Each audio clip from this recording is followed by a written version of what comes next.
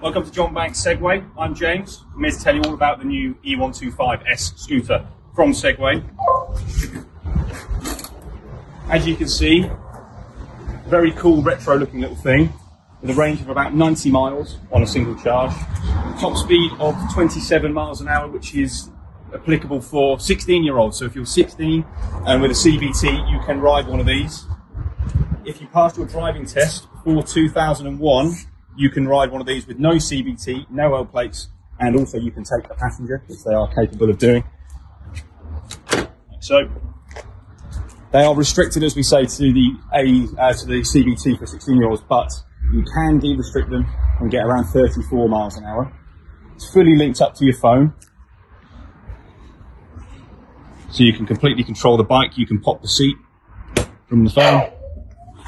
You've got loads of storage under there for a helmet or whatever else you need. Access to the batteries is really easy. Pull the lever and the batteries are kept underneath the floor here. One at the front, one at the back. And they are charged in the bike. You don't have to remove them to charge them. Dashboard's extremely clear. Just big speedo. And adjustable speed modes as well.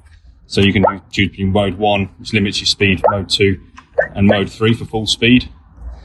And on the dash, you can put a full, uh, digital speedo, total mileage left in the uh, in the charge, your top speed.